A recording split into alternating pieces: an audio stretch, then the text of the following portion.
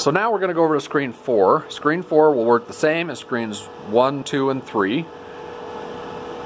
So this will be a much shorter video than the first one. We'll, we'll briefly touch on review things that are similar to screen 5 and we'll talk about what's different. The primary difference is that the server is actually inside of the projector. It's still a separate functioning unit, but it's, it's built in with the projector. And that is called an IMS integrated media system. And we can see right there where it says IMS 2000. So that is a, a Dolby IMS that's actually inside of a Christie projector. So when we refer to the projector, that is still all of this, which we have lamp house, light engine lens that sends the information, but we don't have cables feeding the video signal from the server to the projector because it's plugged directly into the projector. The only video cables that we have to worry about are for um, on-screen ads and alternative content. So for that, we have our HDMI um, A and B here, which they're actually DVI plugs. Not sure why they labeled them HDMI. But these go to um, HDMI goes over to your ad player, which on screen 4 is over here on the sound rack. And then this HDMI in right here actually feeds directly into the server. You'll notice these, any anything outside of this space, anything above here or below here, is not part of the, the IMS or the server. Anything on these two rows of things right here is part of the IMS. So these feed a video signal directly into the projector, which means we will control it from the projector controls. So instead of having the buttons on a side panel, we have the touch screen right here. And so we can actually switch, um, say intermission, we'd switch on right there. That would switch the projector to listening to this channel. In order to listen to the, the DVI audio uh, video signal here, uh, which is actually audio and video, that's going to be done from the server controls in a, in a different place. So, on the side here, we have a lot of important things going on. We have our Ethernet cables, which are these two. Um, these give the server connection to the network. Um, the other one, one of them gives, uh, this one gives a connection to the network. This one is actually just plugged into our NAS, which we'll talk about in just a minute. This is a, an eSATA plug which we gently plug in right here. That goes to our ingest bay. That is how we ingest content. Remember in screen 5, the ingest bay was part of the server. On this one, it has to be plugged in separately. And then we have uh, USB ports to plug uh, jump drives in if we need to transfer keys manually.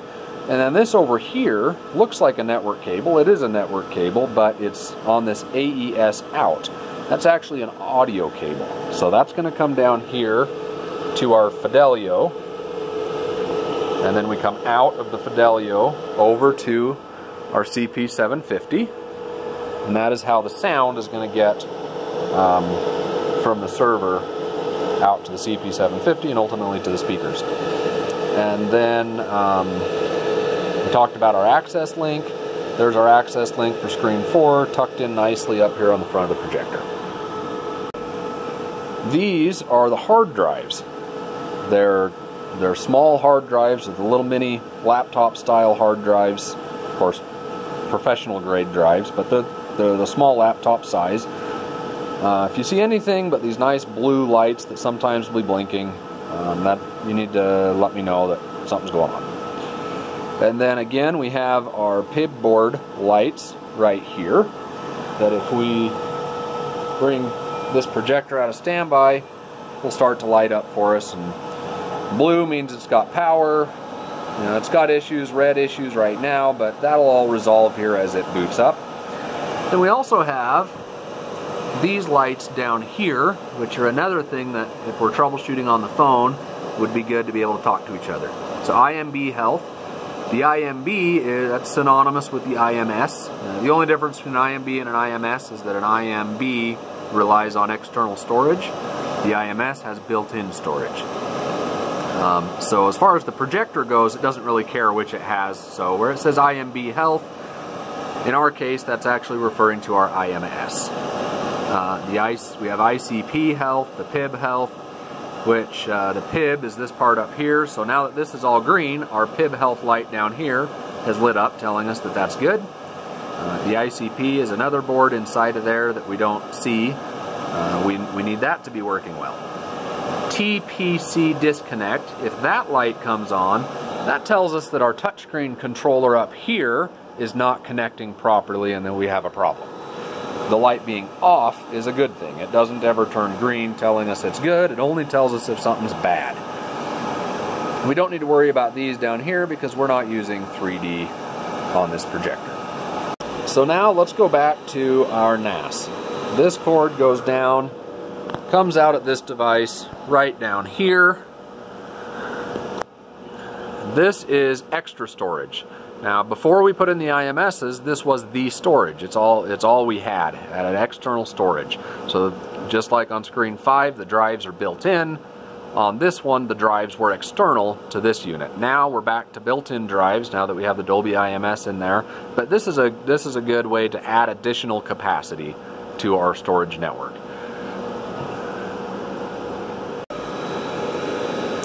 This right here is your eSATA. That's going to come down here and go to this where it says CRU racks. Very important, make sure that's turned on. Probably the single most common um, mistake we have with this is it's just not turned on. And then we put our drives in there exactly the same way we did on screen 5. We'll press this to eject. The process is exactly the same.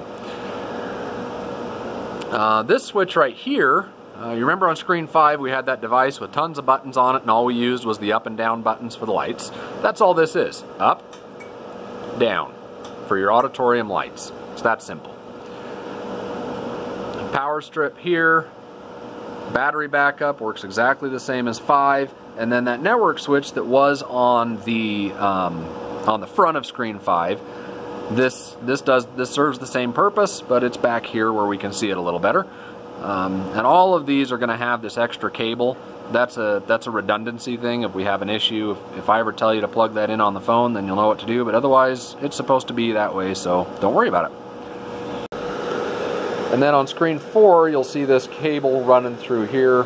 That's not on the rest of them. That was a, a bypass surgery that had to be done to, to save the projector from a problem. Um, hopefully we don't have to do that on any other projectors, but that is something you want to make sure you don't bump or pull on. Just, just let that be. As we come over to the sound rack, pretty much the same thing. We've got our CP750, digital 1 for the server, digital 4 for our ads, our monitors up here. This is our building network switch. Uh, screen 5, you remember it was down uh, on the front of the projector down at the bottom. This one's over on the sound rack. Uh, ad player is here, and here's our amps. want to make sure those are on, of course. I didn't show you this on screen 5, but uh, we're right up here by the port hole. Uh, this is part of the fire alarm system. You see that uh, little blinking green light slowly blinks. Um, that's uh, part of the fire alarm system. It's what tells the projector to shut down in the event of a fire alarm. We'll cover that in detail in the video on fire alarm recovery. Okay, we're back to the screen on the projectionist computer. The way we're going to access those servers for screens 1 through 4 is to come over here to um, all auditoriums right here. And that's going to open us up a nice little browser window. And it tabs across the top. We have screen 1, screen 2, screen 3, and screen 4. So we can come in here and log in. And this gives us all of our controls for the server. So that'll be all of our playback functions, scheduling, keys, all of that is going to happen here.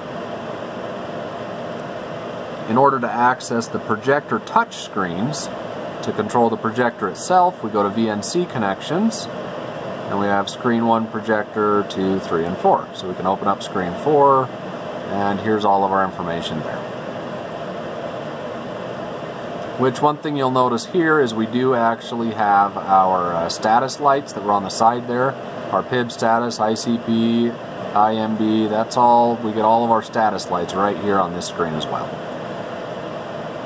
The uh, button up here will bring you over to your alarms. The only thing we have here is just the half-life on the lamps exceeded, just telling us we're more than halfway through the life on the bulb. Uh, if this is red or yellow, it'll tell you there's something you need to come look at. Red is a critical error that will potentially cause the projector to not be able to play a show. Uh, when you do get uh, a red error up here that tells you that the lamp life is exceeded, then you just need to let me know um, go ahead and let me know every time you see it. Keep in mind uh, when I get the notice, I order a bulb. Um, and it'll take a few days for the bulb to get here and, and then I come in and install it.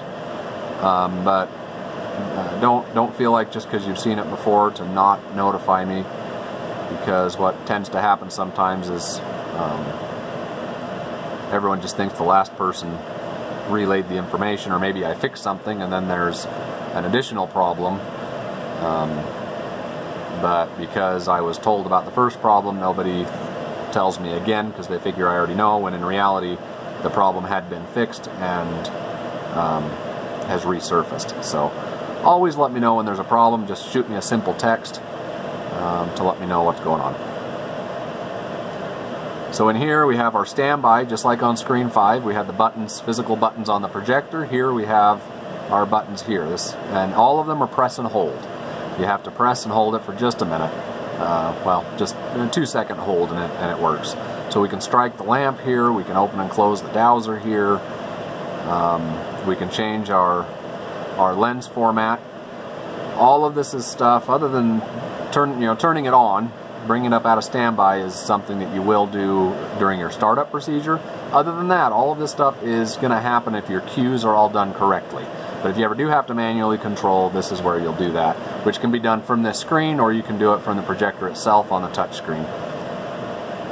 Um, the only way to access the server from the from the other screens, because there's not a separate monitor, like in screen 5 we have this separate monitor just to control the server, but uh, on the other auditoriums uh, you do have to go through this interface to control your servers and that can be done either from this projector or you can take a handy dandy projectionist tablet which there is one over by screens 1 and 2 um, then the other one is typically going to be down and plugged in down at the counter. You'll, you'll have your access to control your servers from there. Quick hop over here to screen 2 um, the only things really different about screens 1 and 2 you don't have your switch up here to control your lights. You got to come back here. So just right up here, you're going to find, uh, we're right up by the porthole window. You'll see this switch right here, up and down, controls the lights. And then briefly, I'm just going to show you uh, these tabs right here and here, or how you open up the side. And then come back here behind your CRU bay, which might come up here to figure out which one is our CRU bay. That's where we ingest. You see our eSATA cable right here. That's plugged in tight, that's plugged in tight. That's what you'll want to do to check and make sure everything's good on your CRU. In addition to making sure that it's turned on right here, that should solve any problems you have getting uh, drives, using drives to ingest content.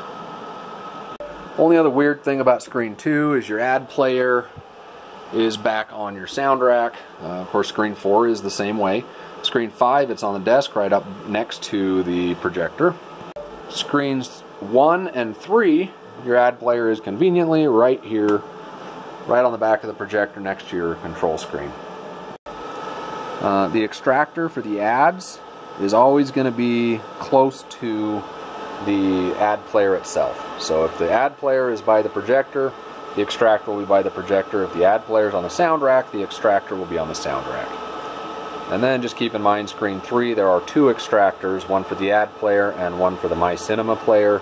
So you'll just want to track it and make sure you're, you're working with the right one when you're troubleshooting ads. So that is the end of the two video series on devices. and how they work together. So stay tuned for additional training videos. Thanks.